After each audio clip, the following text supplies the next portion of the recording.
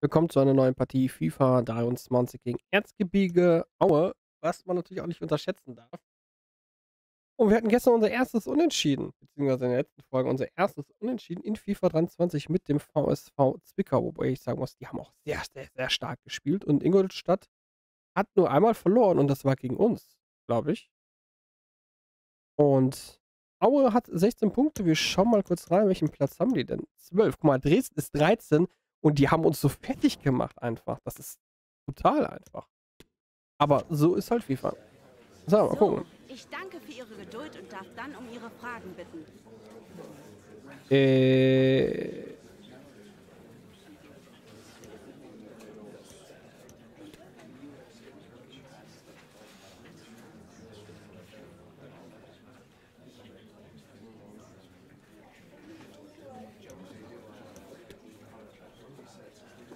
Wir haben irgendeinen Spieler ausgeliehen, glaube ich.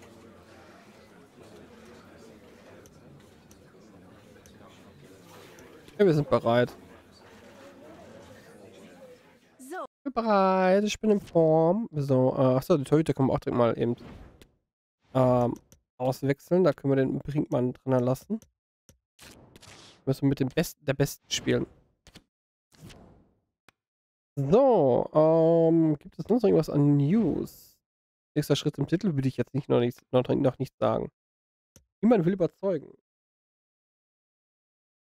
Wer ist denn das überhaupt? Irgendein Torhüter, aber den kenne ich jetzt noch nicht.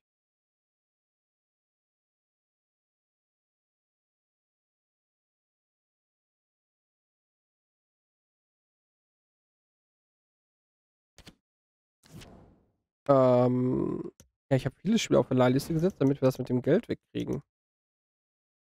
Den habe ich auch gar nicht mehr hier. Der, der ist auch, doch, der ist hier. Aber der hat 54. Selbst der, der Dingens hier, der Hernandez hat, hat mehr als er.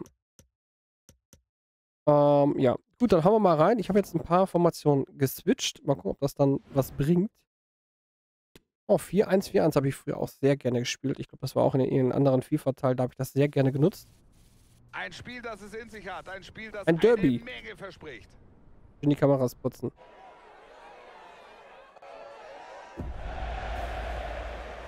Ich finde immer diese Zwischensequenzen so schön. Und die Augen bei unserem Trainer, ne? Das ist der Hammer einfach. Als ob. Ich bin froh, dass wir so ein Tor schießen. Kennen sie wahrscheinlich oder auch nicht. Wir gucken mal. Und willkommen, liebe Fußballfreunde. Wir begrüßen Sie zu unserer heutigen Partie. Ich bin auch heute wieder. Genau, zur letzten Partie, die ich heute erstmal aufnehmen werde. Und dann muss ich mal gucken, wie ich meine. Taktik verbessern kann. Auf eine Partie aus der Liga. Ich glaube, das wird spannend. Das wird interessant. Das ist ein Spiel, das sich kein Fußballfan entgehen lassen sollte. Und die spielen auch sehr hoch auf Druck schon. Ne? Man merkt schon, die drücken schon. Da ist alles drin.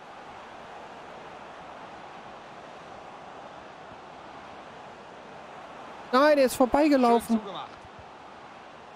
Schade.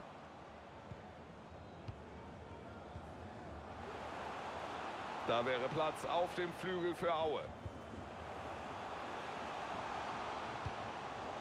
Und da ist der Ball erstmal wieder weg. Aber da kommt er und rennt hinterher bei dem Ball, ne? Aber. Oh, ne, da wieder Fehlpass. Das, das sind so solche Sachen, die dürfen nicht passieren. Und die Mitte ist Das einfach zu er frei. Ich für werd die bekloppt. Gastgeber. Jetzt geht das Derby richtig Ich los. werd Das bekloppt. Da ist die wichtige 1 Mitte zu 0. einfach zu frei und die gehen einfach mal da durch. Und das kann ich nicht verteidigen in dem Moment.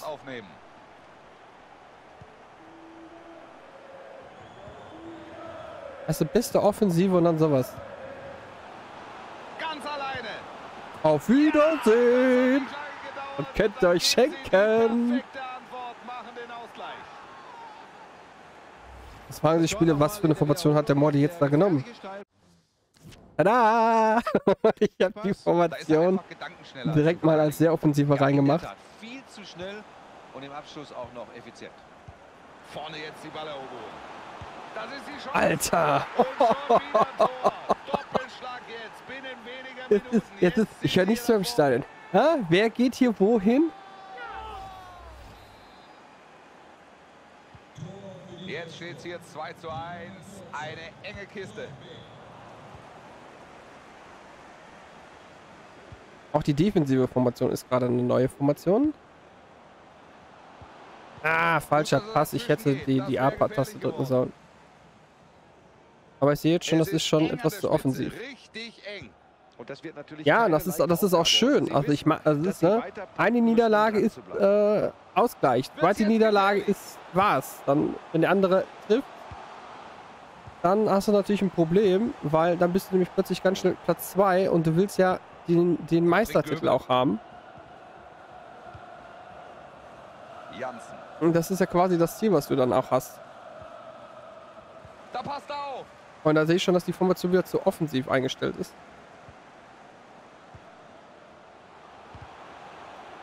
Sicher vom Torwart. Gut gemacht.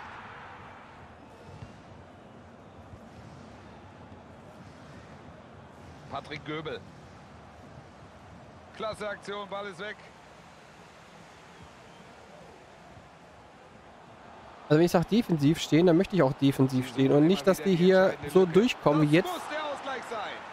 Er ist da, geht sofort runter, überhaupt keine Gefahr. Was kann der Außenseiter jetzt hier aus dieser Chance machen? Ich will jetzt nicht unbedingt behaupten, dass das ein Außenseiter ist. Ja, ja nicht schlecht.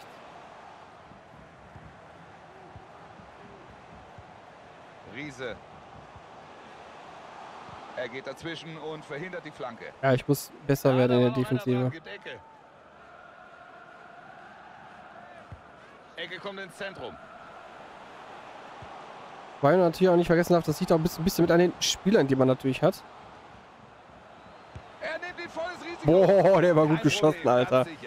Der war auch gut geschossen. Schön mit äh, Volley.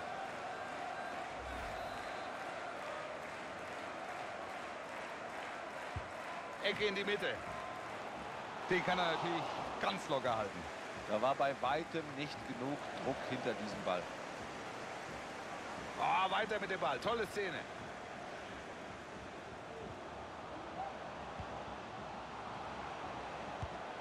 Lässt sich nicht beirren, den hält er.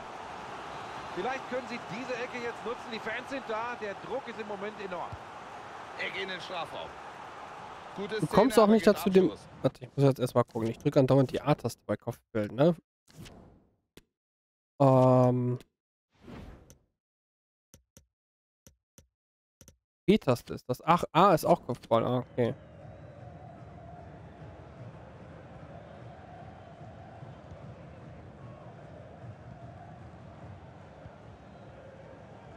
Er könnte hier heute eine Schlüsselrolle einnehmen. Ja, die Frage ist, packt er den Tore-Rekord? Im Augenblick würde ich sagen, der macht, was er will. Der trifft. Schöner Pass. Steilpass kommt an, machen Sie gut. Er trifft. Er erhöht die Führung auf zwei Tore. So, wir So schauen dazu. die Wiederholung dieser Szene nochmal an. Erst kommt der Pass und dann dieses Tor, den Ball einfach reingehämmert und da gibt es... Ich muss doch gleich mal gucken nach der Partie, mit welcher. Nee, Aue hatte, glaube ich, auch so Nach eine. diesem Nee, Treffer 4-1-4-1 steht hatten die. nun 3-1. 4-1-4-1. Er dribbelt in die Mitte. Oh, mit dem Fallrückzieher will er da den Treffer machen. Akrobatisch, aber sind wir ehrlich, richtig gefährlich war es nicht.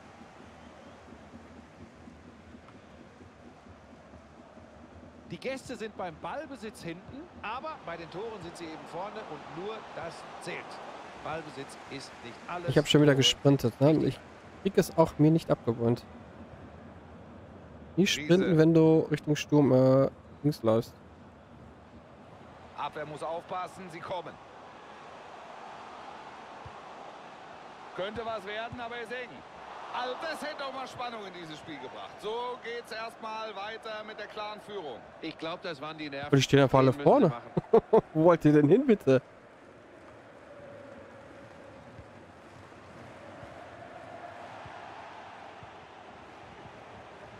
Guter Schuss jetzt. Oh, der wär, das wäre schön gewesen, wenn der reingegangen wäre. Eckball.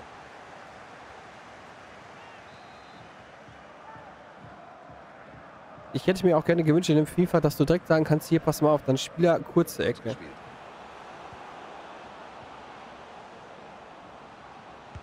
Ja, gut gemacht bei diesem Block. Ja, die war aber scheiße. Wieder ein Eckball. Ecke kommt kurz. zieht in die Mitte. Ich glaube, der kannte den schon. Sie üben schon früh Druck aus. Steffen Kansa. Und das meine ich, ne? Da, da ist es so die Offensive einfach, die Defensive nicht gefühlt da. Da bleibt Wenn du da so guckst. hängen.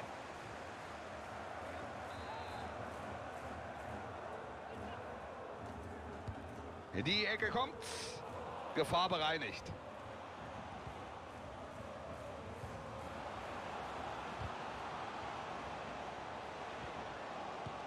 Ich will ja auch nicht unbedingt mit der, mit der Riese. da rein. Schön, wie er diesen Ball. Und dann grätscht er den quasi von hinten ins Knie. Und dann wird direkt gepfiffen als Foulspiel. Ach, leg mich doch. Komm schon. Ah,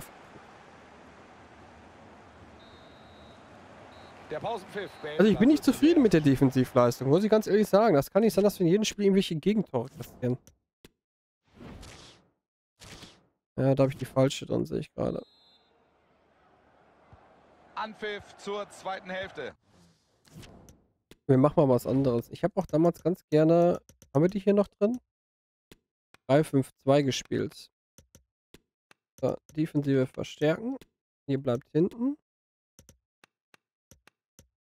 Ihr bekommt beide Mitte abdecken und der Rest bleibt auf Standard.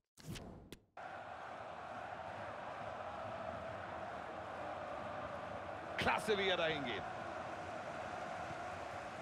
Wird das seine Torchance? Da macht er gut zu. Er war noch dran, gibt Ecke. Die Ecke könnte die Chance zum Anschlusstreffer sein. Die Fans stehen weiter hinter dem Team. Ja, das müssen sie entschlossener machen. Das ist die Chance. Er nimmt die direkt. Da passt der Torhüter auf. Der Torwart ganz sicher. Aber da muss er mehr draus machen. Das ist eine verschenkte Chance. Könnte den Konter geben. Jetzt kann ich nicht sprinten, weil mir alle im Ja, Weg stehen.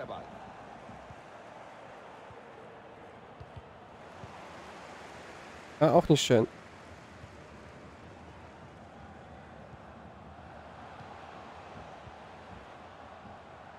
Der Ball erstmal abgefangen.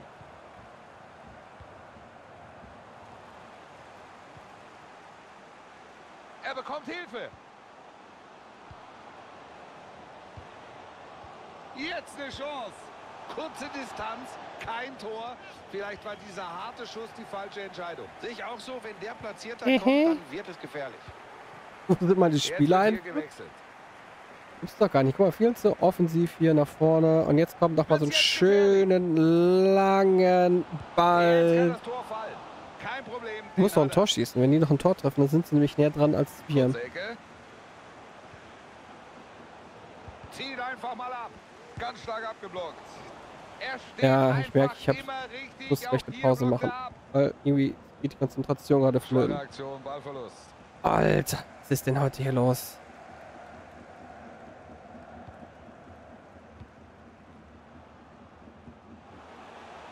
Kann er was draus machen? Gefährlicher Schuss. Jetzt sind sie dran. Noch ein Tor, dann haben sie den Ausgleich. Das meine ich halt. Der neue Spielstand lautet hier also 3 zu 2. Wie kann es sein, dass die mich so zerstören gerade? Das gibt's doch gar nicht. Jetzt ist der Platz da. Was war das denn? Also Ich alles lauf gut aus da einfach durch. Er gönnt sich einfach. Wir schauen noch mal auf die Wiederholung. Guck mal, wie viele Spieler da sind. Wie viele. Und dann, dann, dann, dann. wirklich nicht viel Platz. Aber den wenigen nutzt er und macht das sensationell. Jetzt können wir gespannt sein, was hier noch passiert. Aktueller Spielstand 4 zu 2.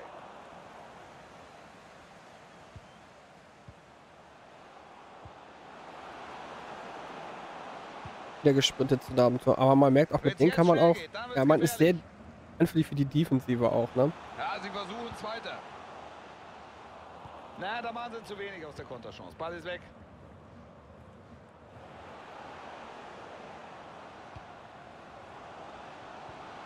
Guter Steilpass hier, macht er gut.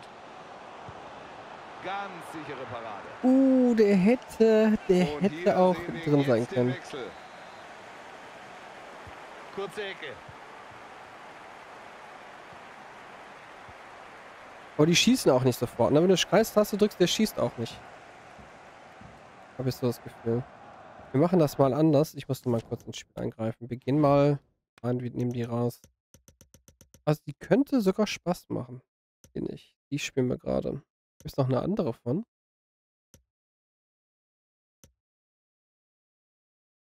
Ist der Unterschied? Ach, er hat da noch ein ZOM drin. Ähm, Defensive verstärken, Defensive verstärken. Mitte abdecken. Mitte abdecken. Mitte abdecken.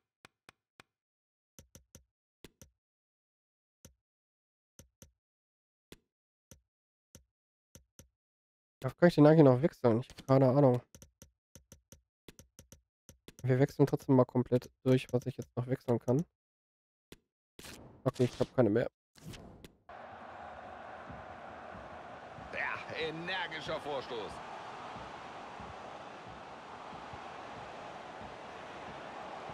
Klasse Tackling.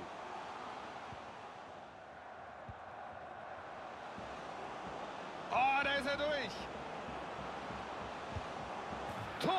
Er hat damit also den Doppelpack in diesem Spiel. Klasse Leistung. Mal gucken, vielleicht behalte ich mir die Formation mal im Auge und werde die mal öfter spielen. Jetzt welche? 3, 1, 4, 2. Sie zeigen eine Top-Leistung und führen daher auch in der Höhe verdient. Du kannst sehr gut Druck nämlich aufbauen nach vorne. Er passt gut auf und hat den Ball. Ich würde aber immer noch eine Formation bevorzugen, wo du defensiv sehr gut stehst.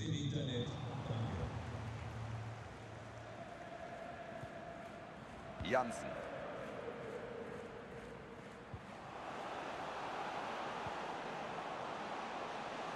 Er blockt die Hereingabe ab. Und jetzt gibt es eine Ecke. Sie wechseln aus.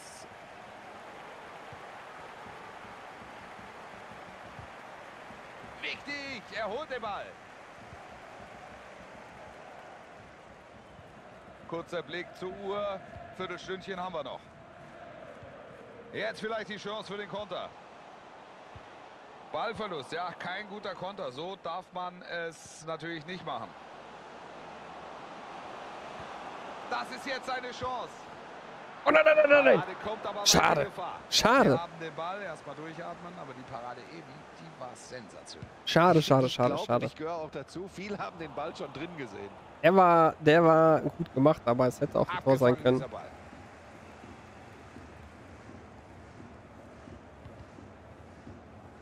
Kurze Unterbrechung. Aber ich die Ball mal so ein bisschen testen in der privaten Karriere, die Formation. Äh, mal gucken, weil guck defensiv gerade hier hinten stehen. Das ist schön, das ist sehr schön, das gefällt mir. Schöner Steilpass. Man kann sehr schön nach vorne Aber spielen. gelingt es ihnen doch nicht, etwas Zählbares aus diesem So Angriff zum Beispiel. Da ist die Chance. Genau hinschauen jetzt. Und das nächste Tor, das ist natürlich stark. Sie lassen nicht nach, erhöhen damit auf vier Tore Vorsprung. Einfach mal mit einer Dreierkette spielen. Hier nochmal die Wiederholung Tors. Wir sehen den Konter. Und dann dieses Tor, den Ball einfach reingehängt. Aber das muss ich erst testen, ob das was wirklich was ist äh, für, für uns oder für mich in So dem Partie Guck mal, wie viele hinten stehen. Wir stehen mit sechs Leuten stehen wir hinten. Dimitri Nazarov. Und du dann natürlich den Ball bekommst oder natürlich kontern könntest. Ja, das darf natürlich nicht passieren. Das darf nicht passieren, dass der Spieler da nicht gedeckt ist im? Endeffekt. Ich habe da meine Zweifel. 6-3 der Spielstand. Ein Fest für die Zuschauer und uns. Ein Albtraum für die Trainer. Hartes Einsteigen, aber Vorteil, kein Pfiff. Spiel geht erstmal weiter. Da gehen sie dazwischen, Ball ist weg. Drei Minuten sind es noch.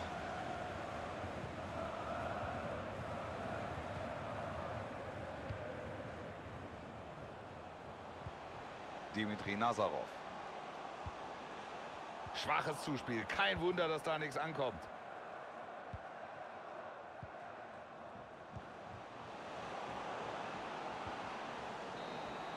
Damit ist die Partie beendet. Die Gäste gewinnen dieses Derby.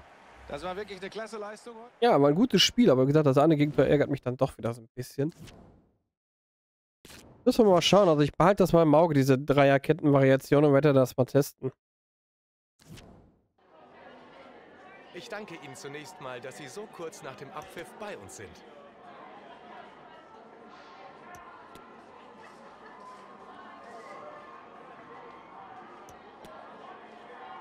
Danke für diese kurzen Aussagen.